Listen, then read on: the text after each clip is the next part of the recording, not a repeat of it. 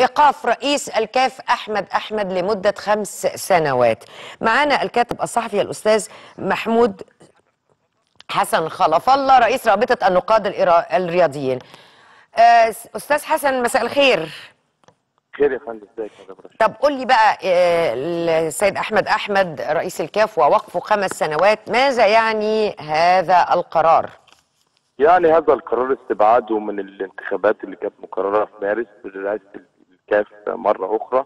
يعني إن انتصر آه، في النهاية كل الناس اللي نادت ان أحمد أحمد راجل عنده آه، أمور كثيرة خاصة بالفساد. وطبعا ده كان واضح جدا واتكلمنا فيه في, في, في, في أوقات كثيره وقلنا ده أول راجل أول ما جه يعني عيسى حياته اللي هو ملك الفساد اللي عاش من الثمانينات في الاتحاد الأفريقي آه كان بياخد كان عامل راتب لرئيس الاتحاد 30000 دولار. هو أول ما جه زود نفسه. يعني عمل لنفسه راتب كبير. راح بقى يروح أي مناسبة مثلا تبع الكاف أو الفيفا ويعمل نفسه مهمات عمل مرتين ثلاثة وهو قاعد في مصر ياخد فلوس مهمة عمل يكون بيتفسح في بلد بياخد فلوس. فأشياء كثيرة ولكن يعني هو بقاله كام سنة يا أستاذ حسن؟ هو المفروض الدورة دي الدورة الوحيدة ليه لا، الأولى بالنسبة له ما كانش يحلم بيها. يعني دي رابع سنة ليه. طيب وفي الأربع سنين دول يعني هم كانوا مستنيين لغاية ما نخش انتخابات قادمة يعني؟ ما هو سيد كل الأربع سنين دول يعني بيعمل كل ده. الكل، هو منتخب وكان موجود بشكل طبيعي وعادي. ولكن القصة مش الأربع سنين. القصة ليه؟ إما أنت جبت لجنة من الاتحاد الدولي تفتش برئاسة فاطمة سمورة أما جت قعدت ست شهور ومسكت كل الأوراق ومعروف إن الراجل ده فاسد من أكتر من سنة. ليه حضرتك سبت الفترة دي كلها لحد دلوقتي إن أنت تطلع القرار في هذا التوقيت؟ لأن الفساد لا ينتهي في كرة القدم. يعني إنفانتينو اللي هو بيدير الاتحاد الدولي لكرة القدم يؤكد أن بلاتر خلصنا منه وجاء راجل أقوى منه في الفساد هو إنفانتينو. خلى أحمد أحمد ليه الفترة دي؟ أقول لحضرتك. عشان هم كانوا عايزين يعملوا business في قصة مباريات أو التصفيات بتاع كأس العالم اللي هي إذاعة المباريات. أنت حضرتك إحنا كمصر مثلا قلنا المرة اللي فاتت في التصفيات اللي كان فيها محمد صلاح جاب الجون وتأهلنا لكأس العالم لو حضرتك تتذكري. ما رضيناش نبيع المباريات بتاعتنا في التصفيات.